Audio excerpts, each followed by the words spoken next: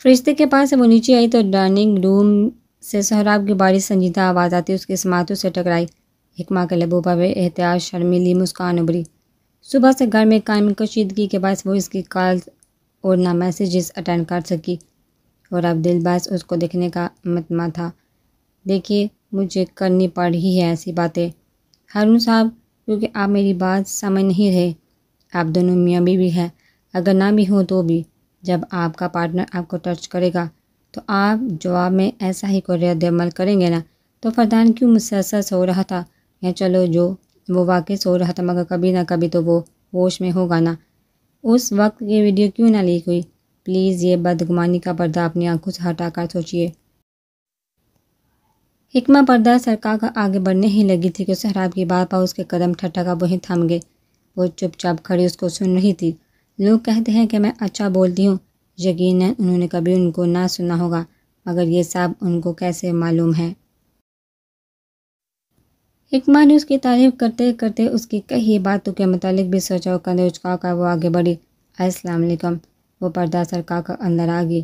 سہراب کی زبان جو مقابل بیٹھے ہارون الرحمان کو کال کرنے کے لیے مسلسل چل رہی تھی حکمہ کی آواز اور کمرے میں اس کے آتے ہی وجود سے اٹھتی پھولوں کی اس محسوس مہک پال مہبال کو ٹھہر گئی۔ اس خوشبو کو پوری رات مس کیا تھا اس نے۔ وعلیکم السلام۔ سہراب نے اس سمت دیکھا جہاں وہ کھڑی ٹیبل پر ٹرے رکھ رہی تھی، جس میں کافی کا ایک کپ عہدے کے لوازمات محض اس کے ہی لیے سجائے گئے تھے۔ سہراب اس پاس نظر ہی نہ ہٹا پایا۔ پیلے رنگ کی لانگ فراق میں ملبوس جس پر سن فلاور پرنٹ تھے۔ سر پر بھی ہم رنگ سکاف کیا ہوا تھا۔ لوگوں کو اپنی بیویاں عموماً سیاہ یا سرخ رنگ میں اچھی لگا کرتی ہیں، جبکہ سہراب کو وہ پیلے رنگ میں حسین لگتی۔ اتنی حسین کے نظریں ہٹانے کا بھی دل نہیں کرتا تھا اس پر سے۔ کافی حکمہ نے اس کی نظروں کی تبش مسلسل خود پر محسوس کرتے نظر جھکائے کافی کا کب اس کے سامنے کیا۔ سہراب کو اس کی آواز پر ہوش آیا۔ فوراً سیدھا ہوتے اس نے کپ تھاما اور واپس نظر آمنہ اور ہارون پر مرکوز کر دی۔ مجھے یہ سمجھ نہیں آ رہا طالب کہ اگر وہ بے قصور ہے اور یہ کہ اس کو ٹریپ کیا گیا ہے تو اس نے خود پریس کانفرنس کیوں نہیں کی؟ ہارون صاحب ابھی بھی پریشان تھے سوراب نے بمشکل اپنے نظر کو قابو کرتے ہارون کو دیکھا، حکمہ اس کے برابر صفحے پر بیٹھ گئی۔ ہارون صاحب سوراب نے ضبط کرتے کہا اور آواز خود بہت مزید بڑی ہوگی۔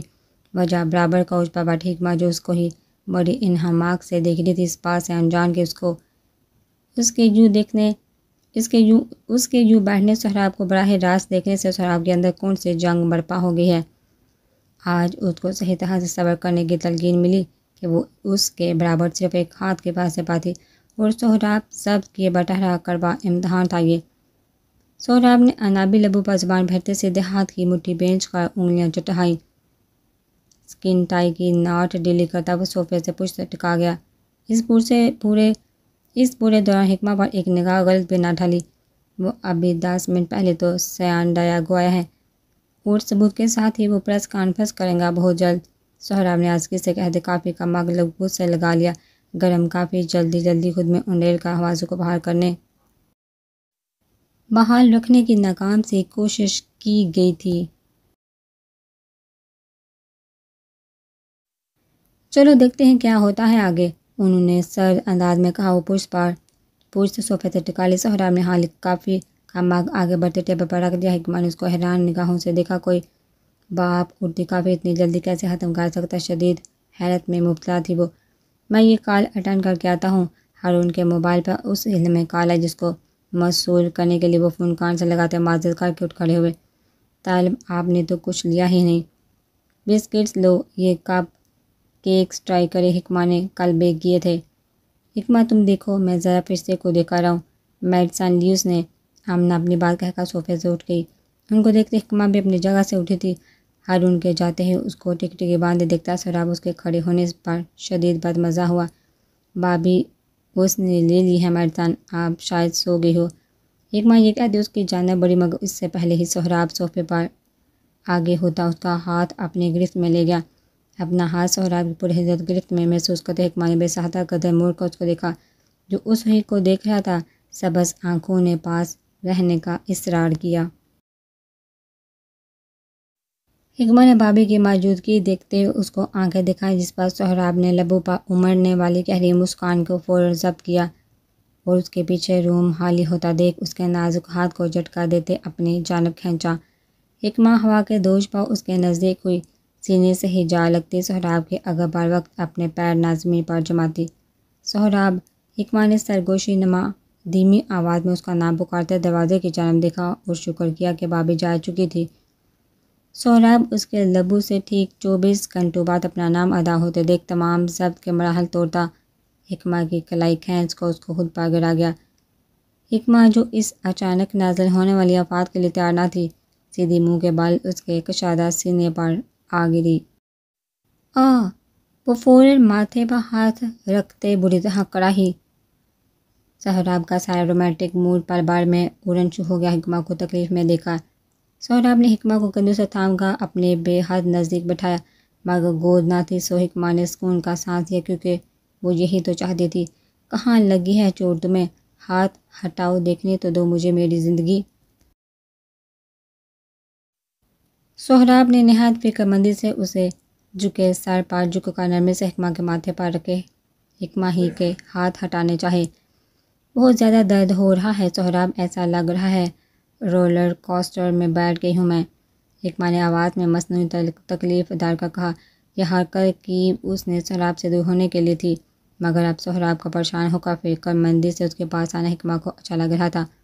My life please let me sit for a second اس نے بچوں کی طرح بیتاب ہوتے کہا حکمہ سے رہا ہی نہ گیا۔ اس طرز گفتار پر فور ماتھے پر ہاتھ ہٹاتی سر اونچا کاٹ گئی۔ سہراب نے فکر مندی سے اس کی سفید پیشانی دیکھی جس پر کوئی نشان نہ تھا۔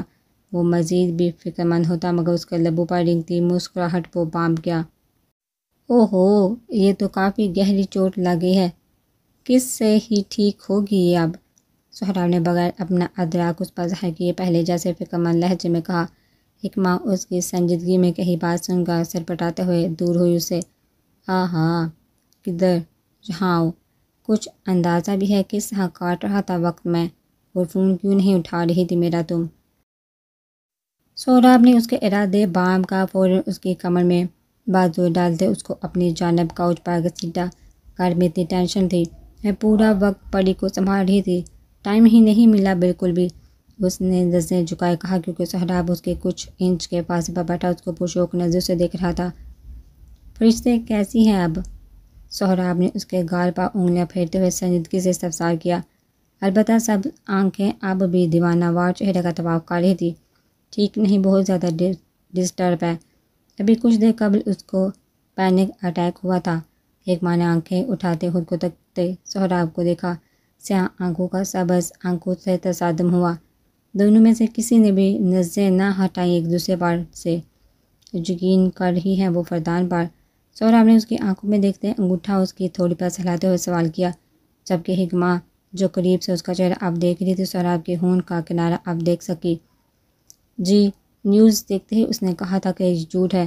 اس کی بات سن کر آنکھیں اگلی ہی ساتھ بند کرتے سہراب نے اپنے رب کا شکر ادا کیا۔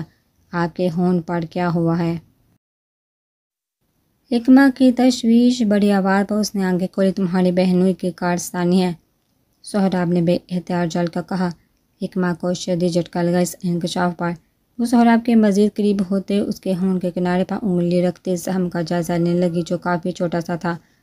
یہ یہ کیا بات ہے بلا ایسے کوئی مارتا ہے کسی کو حد ہے؟ ایک ماں نے اس کے چہرے کے نزدیک ہوئے غصے سے کہا، اس کے نرم خوشبودار سانسیں سہراب کے لیے ایک نیا امتحان بن رہی تھی۔ اسکارف کیوں لیا ہوا ہے؟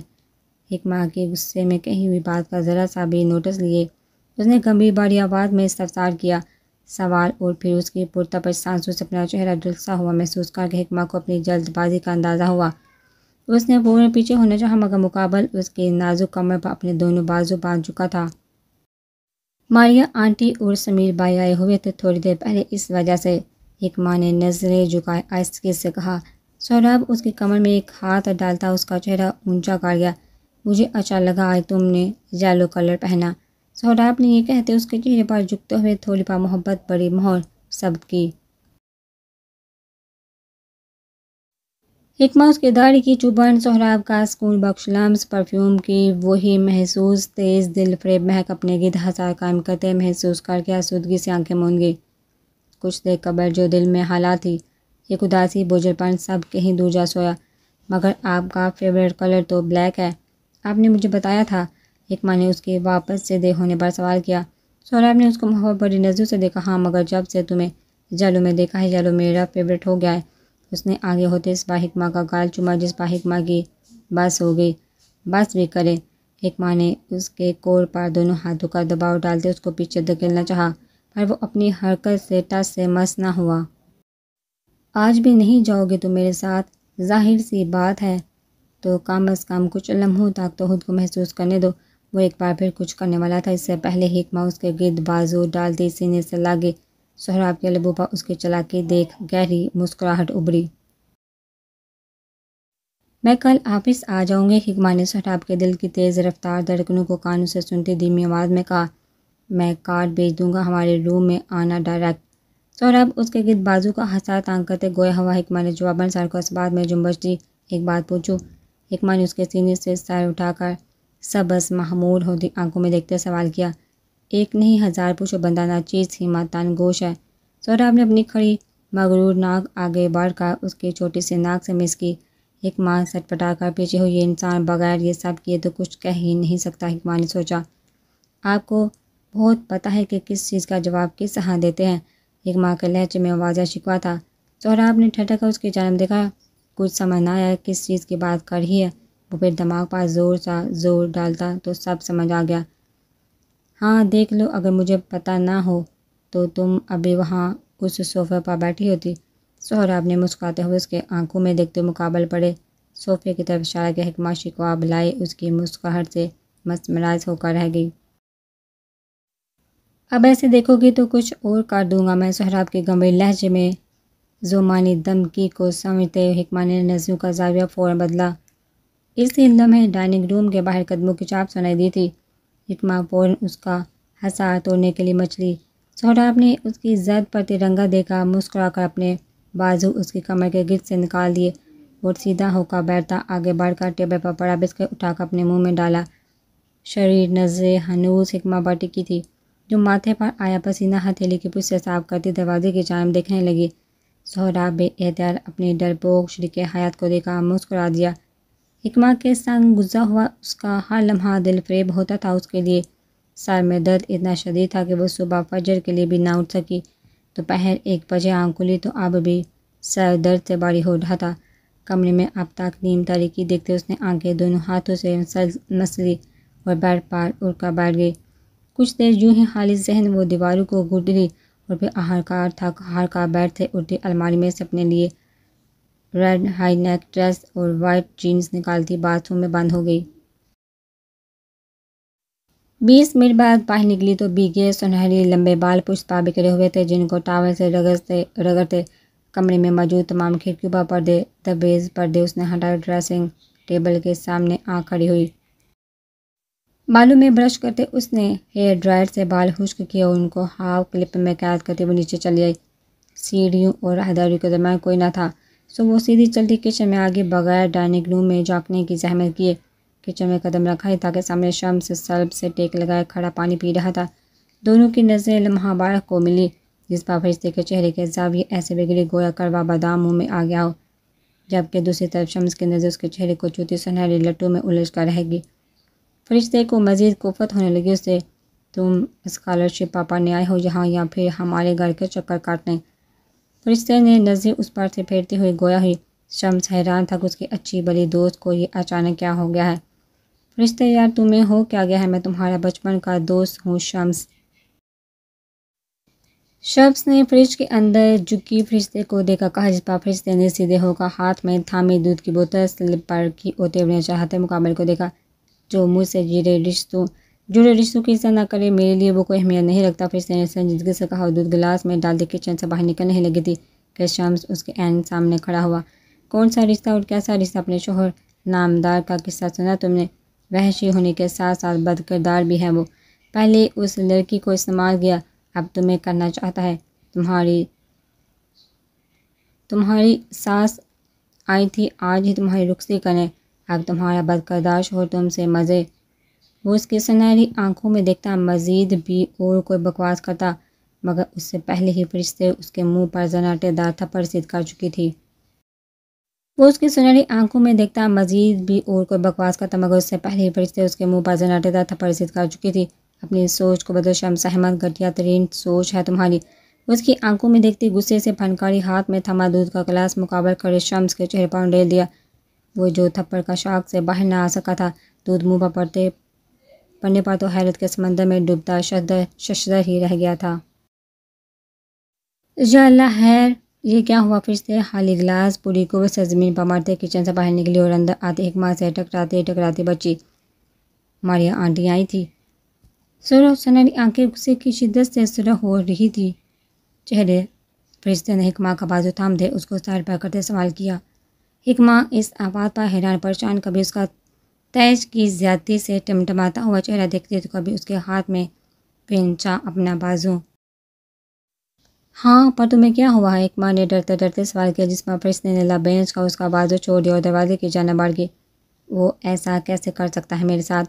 فرشتے مسلسل غصے سے منہ میں کچھ نہ کچھ بڑبڑاتے ہوئے جھکا شوز پہننے لگے، جس پر حکمہ اس کے سر پکڑی، حیران، پریشان، اس کو تکنے میں مشغول دے۔ تم کہاں جا رہی ہو؟ حکمہ نے فرشتے کو دیکھا، سوال کیا، جو اسٹینڈ پر لڑکا سفید مفلر اپنے گلے میں ڈالتے دروازہ کھول کر باہر نکل گئی اپنے شوہر کی کلاس لینے۔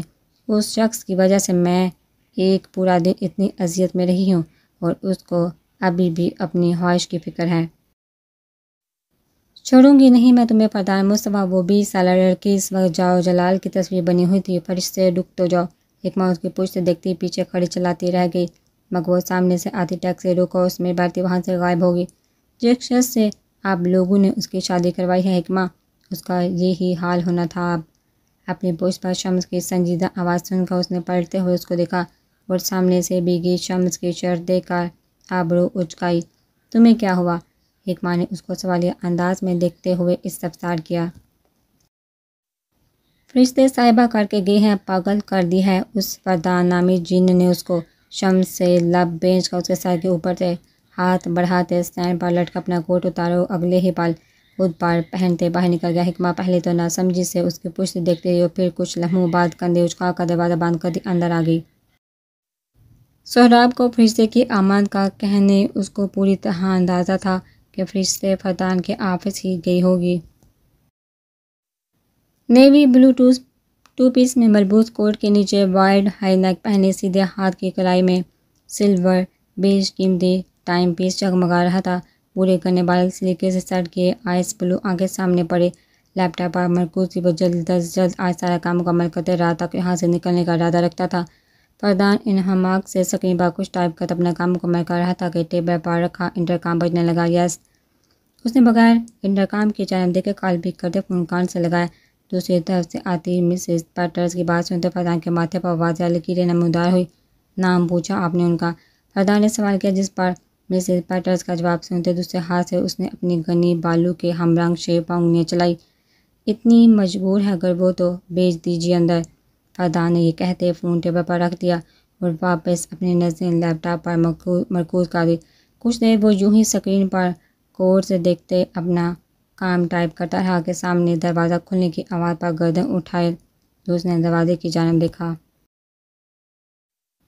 دروازہ پکڑ کر اندر آتے ڈائنا نے بےتاب نے گاہیں اٹھا کر سامنے خود سے کچھ فاصے پر بیٹھے اس ہوبرو جوامت کو دیکھا کتنا بڑا ہو گیا تھا وہ۔ اور ڈائنا کتنا چھوٹا سا چھوڑ کر گئی تھی، اس کو دی۔ فرداد سامنے کھڑی شخصی کو دیکھتے کہ لمحے کو ساکن ہو گیا۔ لبھو سے بے احتاب وہی الفاظ ادا ہوئے جس سے وہ بچپن میں ان کو پکارا کرتا تھا۔ اس کے ہونٹوں سے نکلے لفظ کو سن کر وہ واری صدقے ہوتی اس کی جانب بڑی دین میرا بچہ۔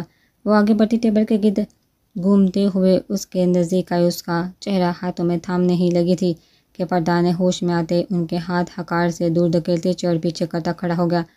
کیوں کیوں آئی ہو تم جہاں ان کی طرف دیکھتے سے، دیکھنے سے گریز کرتے دبی آواز میں غرایا ڈائنا نے اس کے یک سار بدلتے تیور دیکھا، سہم کا دو قدم پیچھے کی جانب بڑھائے۔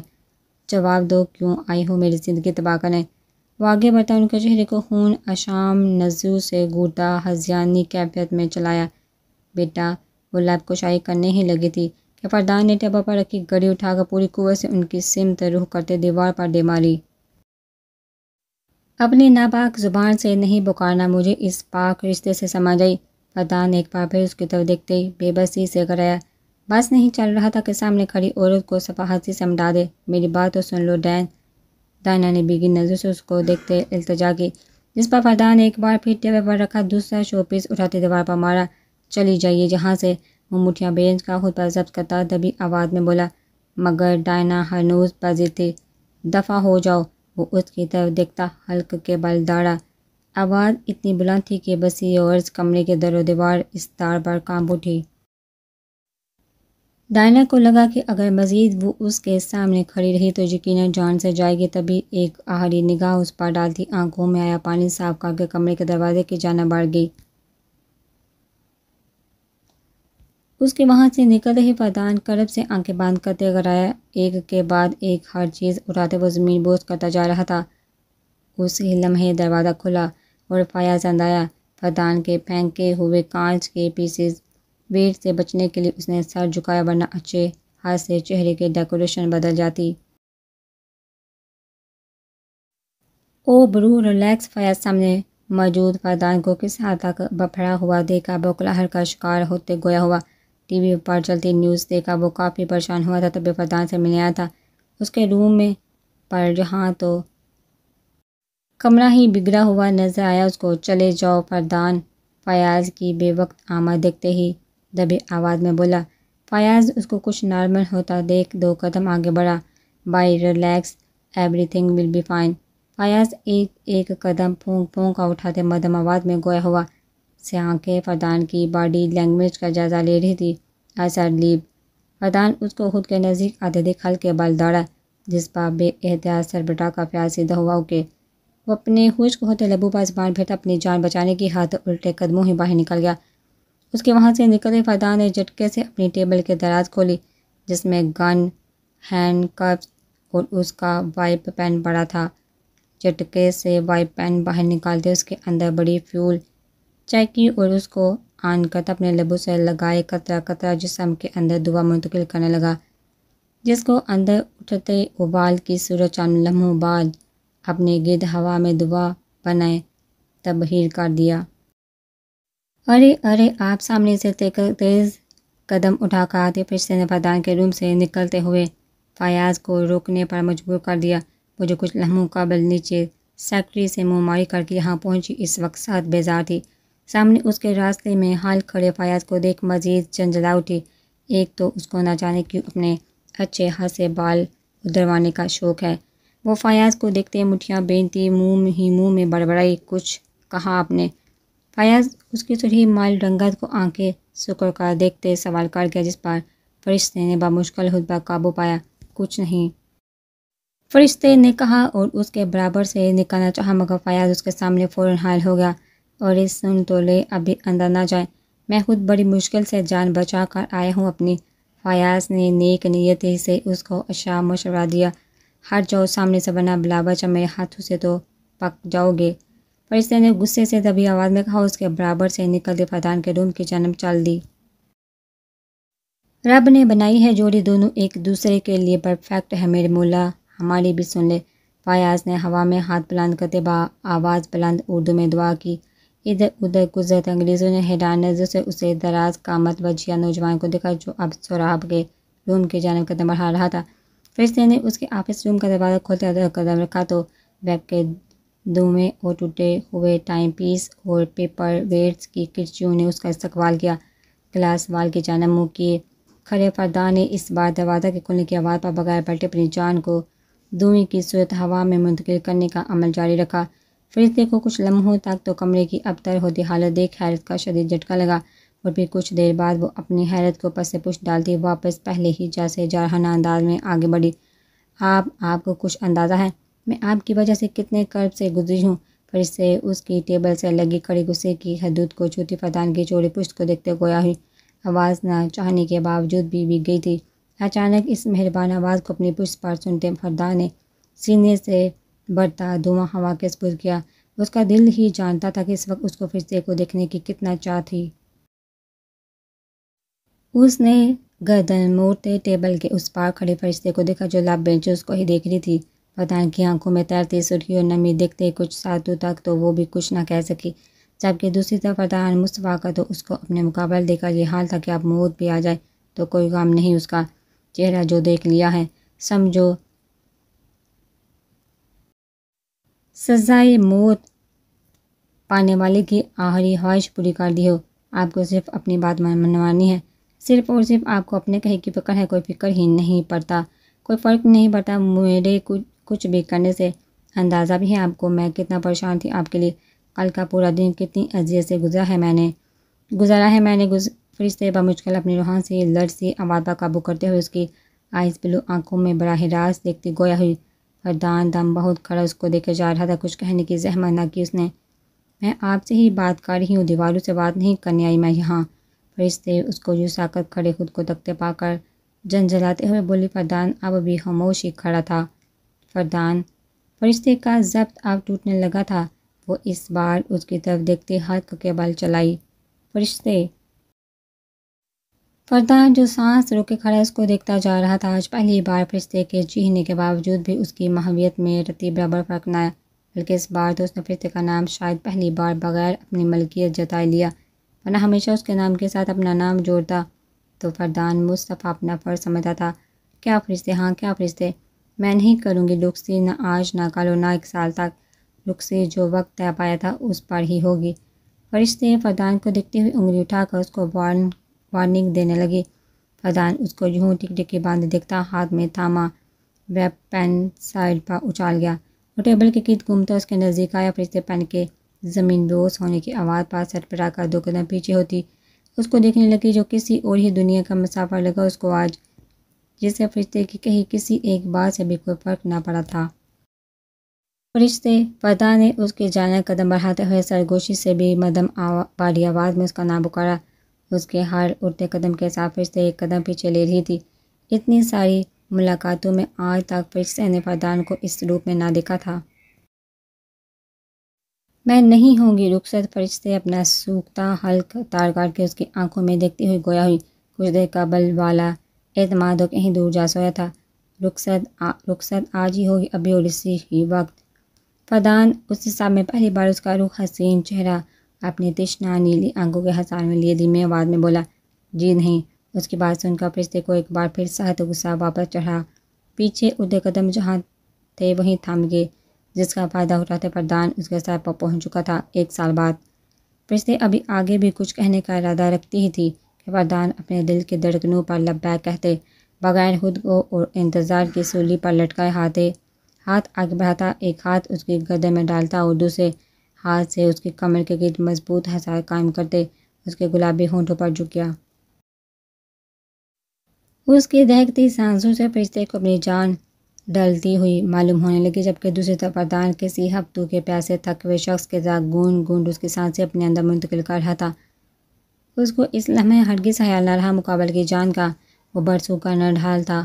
وہ مرہم اس وقت محض فرشتے کی سانسیں ہی بن سکی تھی۔ ان ناسور جیسے زخموں کو جن کو ہر بار کوئی نہ کوئی آ کر نی سرے سے قرید کر چلا جاتا۔ نہ جانے کتنے منٹ وہ یوں ہی اس کو خود میں محسوس کرتے کھڑا رہتا کہ فرشتے نے اپنی سانسیں اکھڑتی محسوس کر کے بے دردی سے اس کے سینے پر بے دم ہوتے ہاتھ چلائے۔ پردان کو اچانک اپنی شر کا احساس ہوا۔ ایک آہر گہری سانس اس کے اپنے اندر کھینتے وہ اگلے ہی ساتھ اس کے چہرے سے دور ہوا۔ البتہ جھکا ہوا تو وہ اب بھی تھا اس پر اپنی شدتوں کو جلتے فرشتے کے سرحلڑ سے ہونٹوں کو دیکھا۔ دل نے پھر بے ایمانی پر اکتایا مگر اس کی ابتر ہوتی سانسوں کو دیکھ فردان نے فی الحال یہ ارادہ طے کرتے پیچھے کلپ میں قید اس کے بال گردن پر رکھا، ہاتھ اٹھا کر کھول ڈالے۔ فرشتے کو تو اس وقت ہوش ہی نہ تھا۔ سو وہ اپنی سانس سے استفسار کرنے کی جد و جہد میں لگی۔ اس کے کالر کو سہتی سے دونوں ہاتھوں کی مٹھیوں میں دبوچے لڑسی ٹانگوں پابا مشکل اپنا وزن برداشت کرتی کھڑی رہی۔ فضا نے اس کی مشکل میں آسانی کی لرزتے وجود کو اگلے پل کسی قیمتی متا کے تھا۔ اپنے مضبوط توانا بازو میں سمیٹتا وہ اس کے سنہری نرم بالوں کی خوشبو وائب کے دھوئیں کے ساتھ انہیل کرتے اپنے ٹیبل کی طرف آ گیا۔ کیا ہوا؟ اب کیوں زبان بان ہو گئی ہے، تمہاری مسز۔ فردان کی پرشوک نظریں اس کے حیات سے سر ہوتے اناری حسین چہرے پر ٹکی ہوئی تھی۔